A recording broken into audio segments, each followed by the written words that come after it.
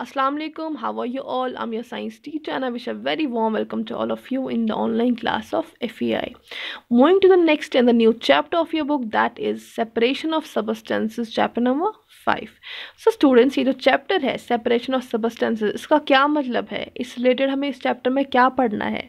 Students separation of substance होता है substance को सबस्टेंस का अलग होना, इनको अलग करना, ठीक है ना? इनको अलग करना। तो इस चैप्टर में हमें क्या क्या पढ़ना है? जो सेपरेशन जो सबस्टेंस की हो जाती है, वो क्यों करनी पड़ती है? उसकी क्या वजह है? ठीक है ना? वो क्यों करनी पड़ती है सेपरेशन सबस्टेंसेस की? क्या वजह है उसकी? कौन कौन से मेथड्स है सेपरेशन करने के सेपरेट करने के सबस्टेंसेस को? कौन कौन से मेथड होते हैं, ठीक है ना? तो फ़िलहाल आज हम पढ़ते हैं इसका इंट्रोडक्शन थोड़ा सा इंट्रोडक्शन जान लेते हैं इस चैप्टर के रिलेटेड ताकि आपको आगे सारा चैप्टर समझने में कोई परेशानी ना हो, ठीक है? तो पहले इंट्रोडक्शन पे चलते हैं। पहले हम देखते हैं सेपरेशन क्या होता है।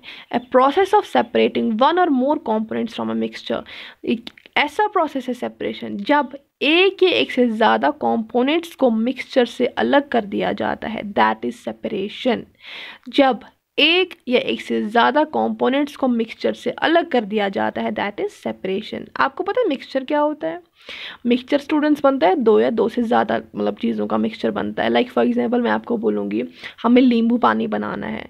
नींबू पानी बनाने के लिए आपको क्या क्या चाहिए? नींबू चाहिए, पानी चाहिए और चीनी चाहिए। ठीक है ना? अब नींबू पानी जब हम वो तैयार हो, फिर तैयार हो जाएगा तीनों चीज़ों से। अब वो जब तीनों चीज़ों से तैयार हो गया, वो मिक्सचर बन गया। ठीक है ना? लेकिन वो किन किन चीज़ों से बन गया? नींबू से, पानी से और चीनी से बन गया मिक्सचर ठीक है ना? किन दो या दो से ज़्यादा चीज़ों से बन गया ना, वो होता है मिक्सचर ठीक है? अब सेपरेशन आपको समझ आ गया? सेपरेशन जो है, ये एक ऐसा प्रोसेस है जिसमें एक या एक से ज़्यादा कंपोनेंट्स को मिक्सचर से अलग कर दिया जाता है। समझ आया? तो कुछ एग्जाम्पल्स ले लेते हैं. Separating stones insects from pulse rice देखिए स्टूडेंट्स आपने देखा होगा आपकी मदर जब दाल या चावल पकाती है, वो पकाने से पहले वो क्या करती है? उसको अच्छे से छांटती है ताकि इसमें कंकड़ ना हो, इसमें कीड़े ना हो, ठीक है ना? और जब उस चावल या दाल में से कंकड़ या कीड़े मिल जाते हैं तो वो क्या करती है? उनको उस चावल से अलग कर देती है। ये भी सेपरेशन का एक एग्ज़ाम्पल है। स्टूडेंट्स मिक्सचर था स्टोन्स का इंसेक्ट्स का चावल, ये एक मिक्सचर था था ना? इस मिक्सचर में से जब आपकी मदर को ये कंकड़ वगैरह दिख गए तो उसने क्या कर दिया? इनमें से इनको अलग कर दिया, एक से एक या एक से ज़्यादा कंपोनेंट्स को अलग कर दिया मतलब स्टोन्स को अलग कर दिया, कंकड़ को अलग कर दिया, चावल से और इंसेक्ट्स को भी अलग कर दिया। ठीक है ना? ये हो गया एक एग्ज़ाम्पल सेपरेशन का। दूसरा आ जाता है straining tea leaves from tea आपने देखा होगा स्टूडेंट्स जब आपकी मदर आपको चाय देती है सुबह या कभी भी चाय देती है, वो क्या करती है, वो स्ट्रेनर का यूज़ करती है। ठीक है ना? स्ट्रेनर का यूज़ करती है, छन्नी किसको बोलते हैं। जब वो चाय आपके कप में डालती है तो चाय पत्ती जो है, वो छन्नी में ही रह जाती है और चाय आपके कप में चली जाती है। वो भी एक एग्ज़ाम्पल है सेपरेशन का। स्टूडेंट जब मिक्सचर से मिक्सचर फॉर एग्ज़ाम्पल चाय पत्ती थी और चाय थी, चीनी भी थी, वो तो फर्दर वाली बात है, मैं आपको फ़िलहाल ये बोलती हूँ। मिक्सचर था, चीनी, चाय चाय पत्ती, ठीक है ना? तो स्टूडेंट्स उसमें से जब क्या हो गया जो हमने चाय कप में डालनी थी, उसमें से हमें क्या कर दिया, चाय पत्ती को अलग कर दिया और चाय किसमें चली गई? कप में चली गई मतलब वो सेपरेशन हो गया एक मिक्सचर से। ठीक है? समझ में आया? गुड तीसरा आता है separating lassi and butter by churning curd continuously stirring of curd students तीसरी एग्ज़ाम्पल आ जाती है सेपरेटिंग लस्सी एंड बटर मतलब जब हम कर्ड को क्या करते हैं? कंटिन्यूसली स्टर करते हैं, हिलाते हैं। आपने देखा होगा, जब हमें लस्सी बनानी होती है, हम कर्ड को क्या करते हैं? स्टर करते हैं ना? तो उसको बोलते हैं churning continuously stirring of curd इसको चर्निंग बोलते हैं, ठीक है ना? जब हम कर्ड की कंटिन्यूसली स्टरिंग करते हैं तो क्या मिलता है? हमें अलग अलग कॉम्पोनेंट्स मिल जाते हैं। लस्सी मिल जाती है बटर मिल जाती है अलग अलग से।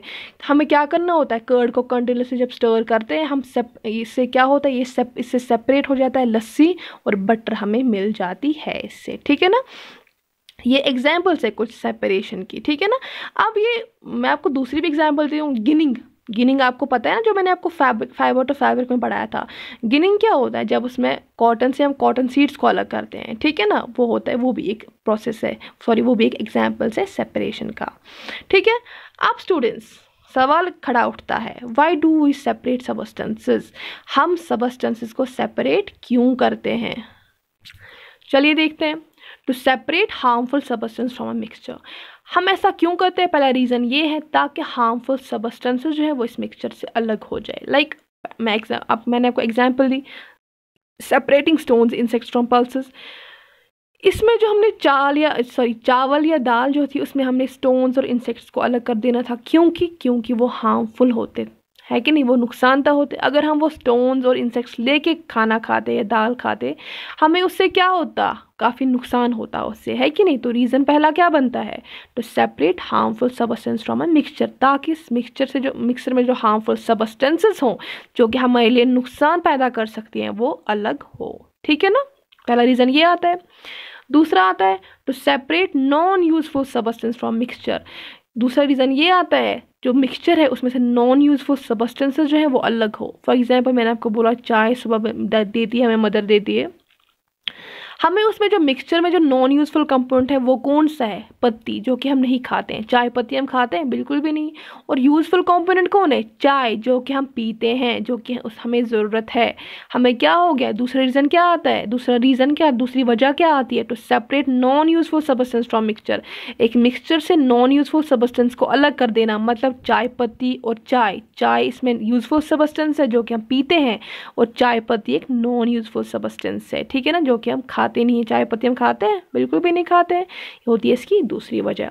तीसरा क्या है? We also separate two useful components if we want use them separately और हम इसलिए भी सेपरेट करते हैं ताकि हमें दो यूज़फुल कंपोनेंट्स मिल जाएँ। जैसे मैंने आपको फिर इनको आगे सेपरेटली यूज़ किया जाए डिफरेंट चीज़ों के लिए। लाइक like मैंने आपको जैसे बोला, जब हम कर्ड का कंटिन्यूसली उसको कंटिन्यूसली स्टर करते हैं मतलब चर्निंग हम करते हैं, ठीक है ना? चर्निंग करते हैं कर्ड की कंटिन्यूसली स्टर उसको करते हैं। हमें दो डिफरेंट हमें मतलब उधर पर सेपरेट हो जाता है। क्या क्या हमें मिल जाते हैं, दो यूज़फुल कंपोनेंट सेपरेटली मिल जाते हैं। कौन कौन सा लस्सी मिल जाती है और मक्खन मिल जाता है। तो तीसरी वजह क्या आती है इसकी? हम क्यों सबस्टेंस को सेपरेट करते हैं? ताकि हमें हमें यूज़फुल कंपोनेंट्स मिल जाए। जैसे मैंने आपको दो यूज़फुल कंपोनेंट्स मिल जाए। जैसे कि मैंने आपको बोला कर्ड की एग्जांपल दे दी, जिससे मैंने आपको क्या बोला? स्टरिंग से क्या होता है? कर्ड की स्टरिंग से क्या होता है? हमें दो यूज़फुल कंपोनेंट्स मिल जाते हैं। लस्सी और बटर मक्खन और लस्सी, जो कि हमारे, जो कि हम मतलब इस्तेमाल करते हैं। समझ आ गया ना आपको? ये वजह है, ये रीज़न्स है जिससे क्या होता है? हम क्यों करते हैं? सबस्टेंस को सेपरेट करते हैं। ये रीज़न्स है इसके।